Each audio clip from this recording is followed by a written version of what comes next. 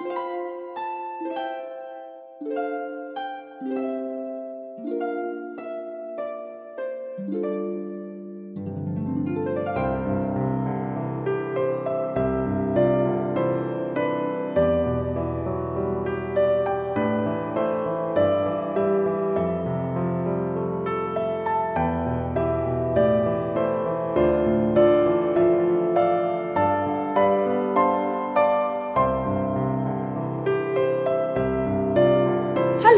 everyone. Today we are making fresh fruit jelly pudding and for that the ingredients are some dry fruits like walnuts, cashews, almond and pista, some biscuits, fruits like we have chosen bananas, chiku, pear and apple. You can choose seasonal fruit of your own choice. Then we will be using one packet jelly and one packet fresh cream. So friends, let's start with our fresh fruit jelly pudding.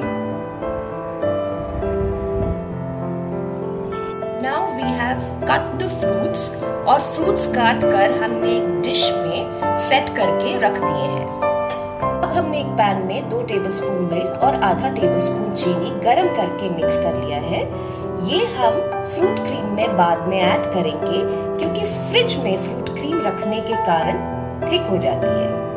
We have added cream to the fruits fruits में हमने cream add कर दी है।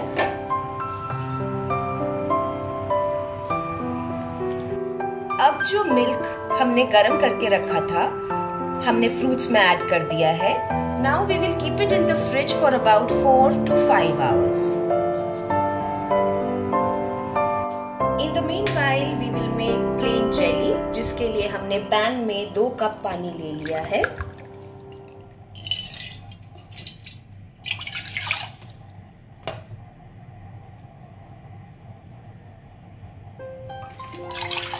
We will heat it and add jelly powder to it.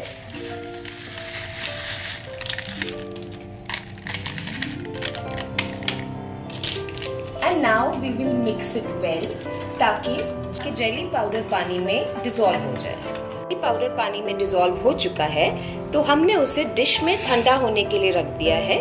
देखिए कैसे steam निकल रही है।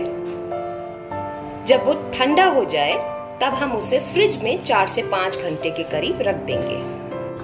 Now we are roasting the dry fruits हम ड्राई फ्रूट्स को हल्का सा लो मीडियम फ्लेम में गर्म कर लेंगे ताकि वो क्रिस्प हो जाए। हम बिस्किट्स को अच्छे से क्रश कर लेंगे।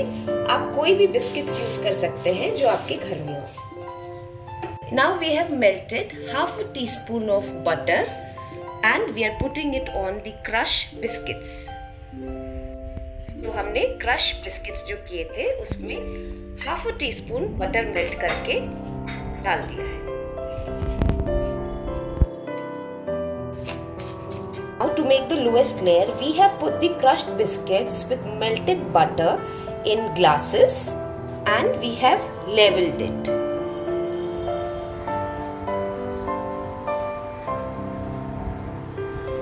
Now we have crushed the dry fruits and we will add it to our glasses.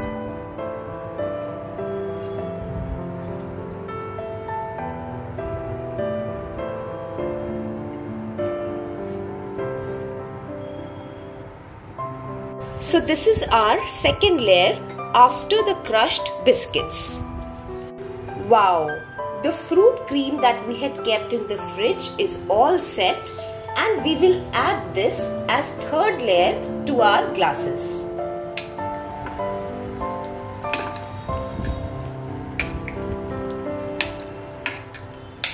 Now the fourth layer is again of dry fruits. So we are adding some more dry fruits as the fourth layer.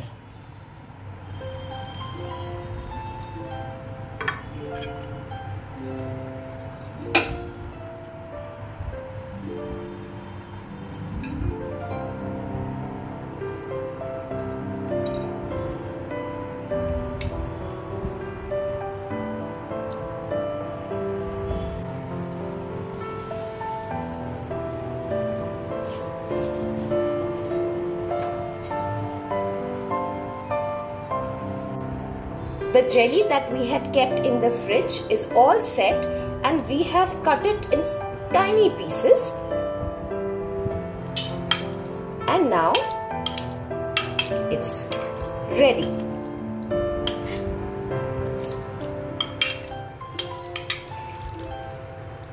And these tiny pieces we will add to our glasses as our fifth layer. Wow, that looks so beautiful, isn't it? And we have added dry fruits as the sixth layer to our jelly. Wow, this looks so beautiful. So friends, I'm sure you all must have loved this recipe आप भी ज़रूर बनाइएगा and please do enjoy it with your friends and family I am sure they all are going to love it Keep watching Shakha हमारे साथ इसी तरह बने रहने के लिए thank you take care God bless you all